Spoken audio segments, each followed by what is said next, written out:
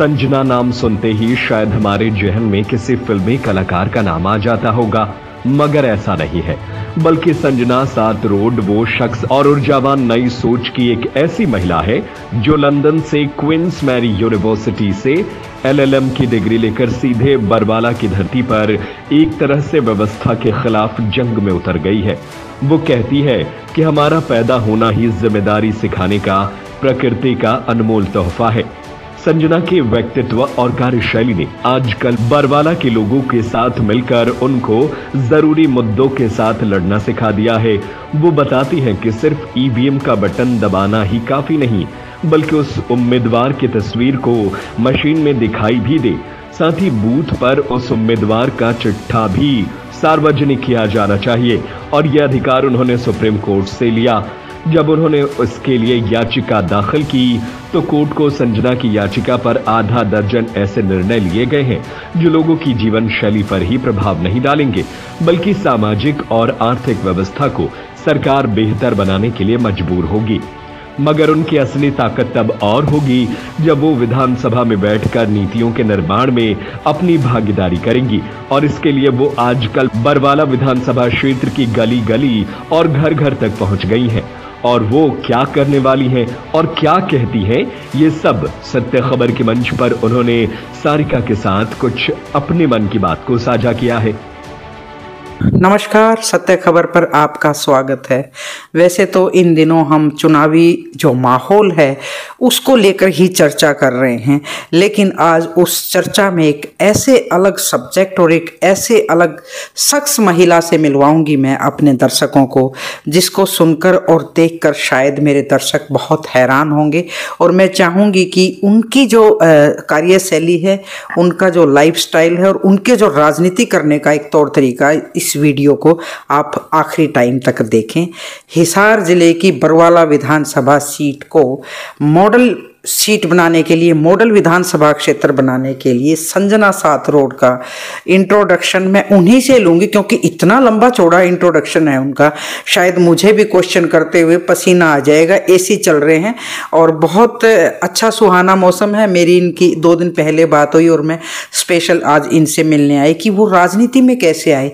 कहाँ लंदन से एलएलएम की कहाँ दिल्ली यूनिवर्सिटी से आ, आ, ये बी एल बी की एक सोशल वर्कर जिन्होंने जनहित में सुप्रीम कोर्ट में याचिका डाली और इनकी याचिका पर सुप्रीम कोर्ट को फैसले देने पड़े। ये सोशल वर्कर ही नहीं, एक जमींदार की बेटी और जमींदार के परिवार में ब्याही आई और उसके बावजूद भी अगर इनके काम को देखेंगे तो मेरे ख्याल में सारी पार्टियों को इनसे प्रेरणा लेनी चाहिए। खैर, मैं ज़्यादा नहीं बात करूँगी, हम इन्हीं से जानना चाहते हैं। संजना मैम, सबसे पहले तो सत्य खबर पर आपका स्वागत। है। बहुत बहुत धन्यवाद। मैम मैंने आपके बारे में कई बार सुना। एक बार मुझे थोड़ा सा ना ब्रीफ करें आपका इंट्रोडक्शन आप कहाँ से हैं बेसिकली और हिसार में आके आपने जो राजनीति का जो एक धारणा बदल दी है कि भाई महिलाएँ केवल घर का काम काज नहीं इतनी पढ़ी लिखी महिला भी राजनीति में किस तरह से आप मैनेज करती हैं? कहाँ से है आपकी पढ़ाई शुरुआत? नमस्कार जी आपको और आपके सभी दर्शकों को। जी। जैसा कि जब शुरुआत करते हैं तो फिर मेरे इंट्रोडक्शन में मैं बताना चाहती हूँ। मेरा नाम संजना सातरोड है और मैं दिल्ली की बेटी हूँ और यहाँ हिसार में मेरी शादी हुई है।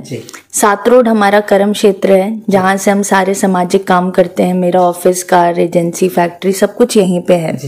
और जैसा कि आपने कहा कि महिलाएँ सिर्फ़ चूल्हा चौखा संभालने के लिए घर संभालने के लिए अब नहीं है और सशक्त हो चुकी हैं तो मैं आपको बताती हूँ जो भी महिला होती है हाँ। उसके अंदर एक इनर्ट स्किल होती है मतलब वो पैदा होती है इस हम्म। कौशलता के साथ कि वो अपना घर संभाल सके हम्म। और जिसके पास संभालने की स्किल आ जाती है तो वो बेशक घर हो वो कोई गाँव हो कोई क्षेत्र हो या पूरा देश हो या विश्व हो वो महिला बखूबी उसको संभाल सकती है। मैं कभी नहीं मानती कि महिलाएँ किसी से कम है। और इसी के साथ ऐसी ही मेरी परवरिश रही है जो अपने बुज़ुर्गों को करते देखा है हमेशा से उन्हीं पच्चीनों पे मैं चल रही हूँ। मैम आपने जैसे बी एल एल बी और जो एल एल एम की जो बता रहे थे आपने ये डिग्री कहाँ से किया? जो मैंने B B L L B की पढ़ाई करी है वो मैंने आई पी यूनिवर्सिटी दिल्ली से करी है। मेरिट uh, में नंबर थे तो फिर अच्छा। उसको हमने कंसिडर किया। वैसे मेरे ट्वेल्थ में भी काफ़ी अच्छे मार्क्स थे। पहले डी यू हिंदू कॉलेज में मैंने एडमिशन लिया था। पर फिर मेरे अंदर एक आवाज़ आई कि मुझे वो करना है जो हमारे रिफॉर्मर्स ने किया था। जो हमारे रिफॉर्मर्स रहे हैं वो ज़्यादातर अगर आपने देखें तो स्वतंत्रता के टाइम पे जितने भी हमारे कॉन्स्टिट्यूशनल निर्माता रहे हैं या हमारे देश को आकार देने वाले रिफॉर्मर्स रहे हैं वो सब वकील थे। वकील थे बिल्कुल। तो- ये बहुत बड़ी बात है। तो ये ये फिर जब लंदन जाने का मन बन गया फिर मतलब वहीं की भी वो भी लंदन से डिग्री लेके आ रहे थे। उन्हीं के बोलते थे शायद। जी जी। तो उन्हीं के पच्चनों पे चल के मैंने लंदन जाने का फैसला किया था। मुझसे काफ़ी बार पूछा जाता है लंदन जाके वापस आना क्यों है मैंने कहा जाना ही इसलिए था क्योंकि वापस वो क्रांति करने आना आना था है। जी। तो एक तरह से राजनीति में जो आपका आना आपकी सोच आपकी आइडियोलॉजी एक पूरी तरह से क्रांतिकारी महिला के तौर पर देखते हैं लोग। मुझे जितना सुना, मैं तो खैर फ़र्स्ट टाइम मिल रही हूँ। तो जो बरवाला में आपने जो शुरू किया कि भाई चुनाव लड़ना है, लेकिन आपका चुनाव लड़ने के जो तौर तरीके वो सब एकदम सबसे अलग है। जी क्योंकि जो राजनीति होती आ रही है जो राजनीतिक दाव पेच गंदगी एक दूसरे को नीचे खींचना विरोध करना ये सारे काम ना मुझे आते ना मैं सीखूँगी। अगर मेरे अंदर कौशलता है अगर मेरे अंदर स्किल्स हैं और अगर मैंने कुछ काम करे हैं तो लोग मुझे उसी पे परख के वोट दें मैं यही चाहती हूँ। मैं अपना विजन शेयर करना चाहती हूँ पहले जो मैंने अपने काम करे हैं वो बताना चाहती हूँ। तो मेरे पास ना तो टाइम है किसी का विरोध करने का टांग खींचने का और ना मेरे अंदर वो संस्कार है कि मैं वो करूँ। मैंने एक मुही मोड़ देखी थी आपने कुछ जनहित में सुप्रीम कोर्ट में याचिका लगाई मुझे पता चला। मैं काफ़ी सारी चीज़ें आपके बारे में सुन के आई हूँ। तो कौन सी ऐसी याचिका थी और वो जो पब्लिक इंटरेस्ट में थी उसको थोड़ा ब्रीफ करें मुझे। तो जब मैं कॉलेज टाइम से ही मुझे हमारे पब्लिक इंटरेस्ट लिटिगेशन के बारे में क्योंकि वकालत पड़ी है तो पता चला था कि एक आम आदमी के हाथ में एक ऐसा शस्त्र है जो जो लॉज गलत हैं जो हमारे संवैधानिक हकों को मौलिक अधिकारों को हनन पहुँचा रहे हैं तो उसका हम कैसे समाधान कर सकते हैं आम आदमी के? थोड़ा सा अब आती हूँ यहाँ की राजनीति पे। यहाँ की जो राजनीति देखी आपने बरवाला में क्या सोच के आपने ये निर्णय लिया? कि राजनीति ही करनी है मुझे और आपने बताया कि मेरा मॉडल भी दूसरा है। क्या सोच के आपके मन में आई?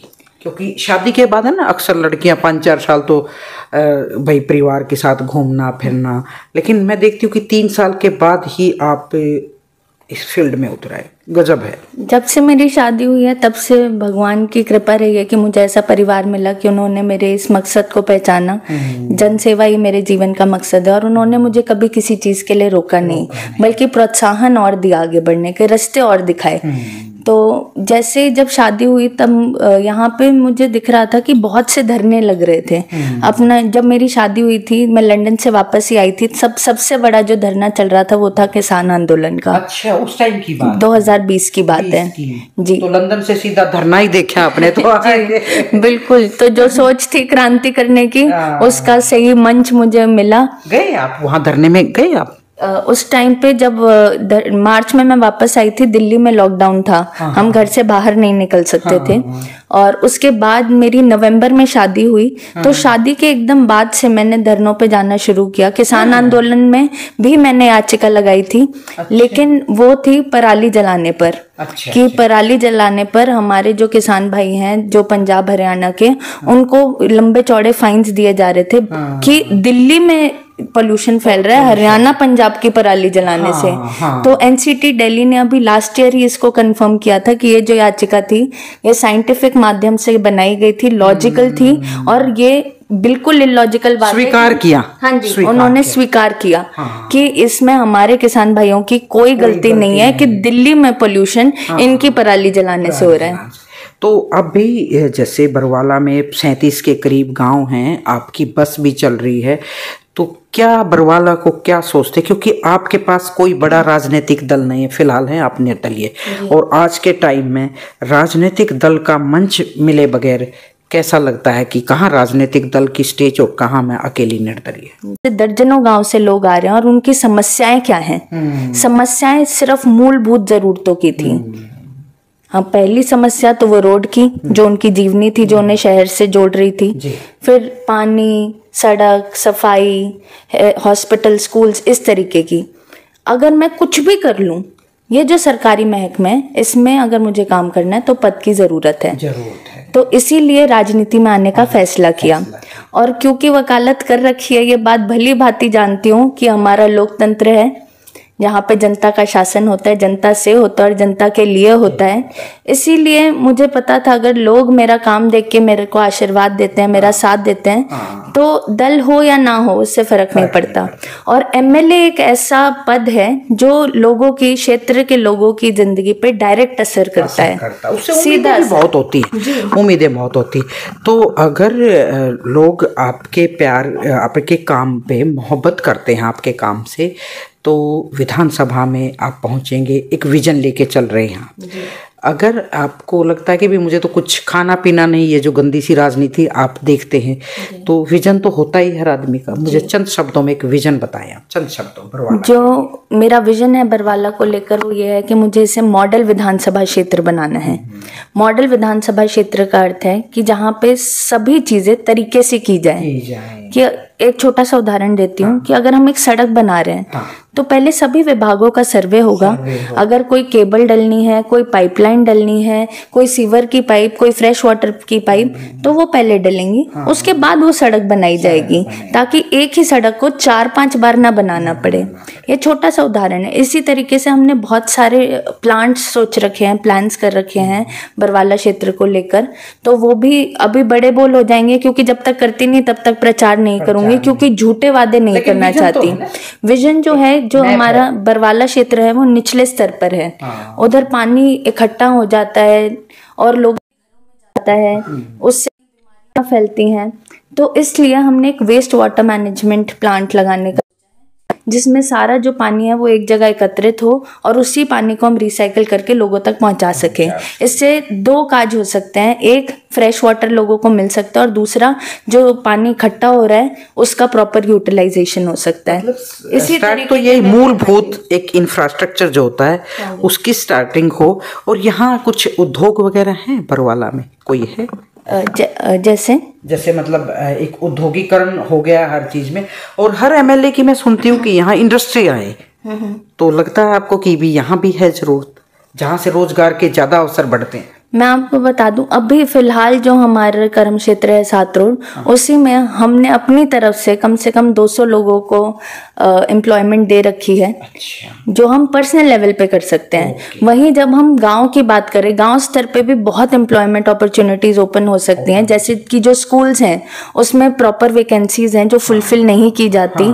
जैसे जो सफ़ाई के लिए जो लोग निर्धारित हैं। वो बड़े गाँव में भी दो हैं छोटे गाँव में भी दो हैं। तो इस तरीके की जो चीज़ें हैं, उनको हम फुलफिल करेंगे। जो लोग काबिल हैं, जिनको मौके मिलने चाहिए, जिनके जो एमएलए के अंडर जो हक होते हैं, अधिकार होते हैं एम्प्लॉयमेंट देने के, वो सारे फुलफिल किए जाएँगे। हाँ बहुत बहुत शुक्रिया संजना, मैं आपके जो आपने विजन बता मुझे सांस भी चढ़ गए हैं। आपकी क्वालिफिकेशन सुन के और इस लेवल पे जाके गाँव में लोग आना भी नहीं पसंद करते और वहाँ संजना गली गली की खाक छान कर इन जो समस्याएँ हैं, उनको, उनका एक मैप बना लिया है कि अगर जनता उनको इस मौका देती है तो मैंने पहली बार एक महिला से इतनी पढ़ी लिखी महिला से राजनीति में उनसे सामना किया और जो मॉडल विधानसभा की बात की वो भी मैंने पहली बार सुनी। बाकी लोग भी इनसे प्रेरणा ले लें तो बेहतर है। डेमोक्रेसी है और जो भी प्रदेश की सरकार होती हैं उनको बहुत पावर होती है और विकास की लोगों को बड़ी उम्मीदें होती हैं। लेकिन संपूर्ण विकास नहीं हो पाया और आज लोगों के पास मूलभूत सुविधाओं का भी अभाव है। उस अभाव को देखकर राजनीति में आकर मॉडल जो विधानसभा की बात की, संजना को इसकी बहुत बहुत बधाई।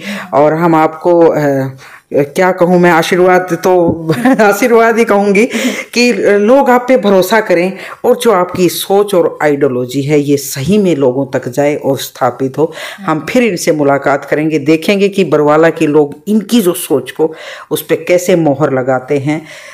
हिसार से सारिका की रिपोर्ट, नमस्कार। सत्य खबर।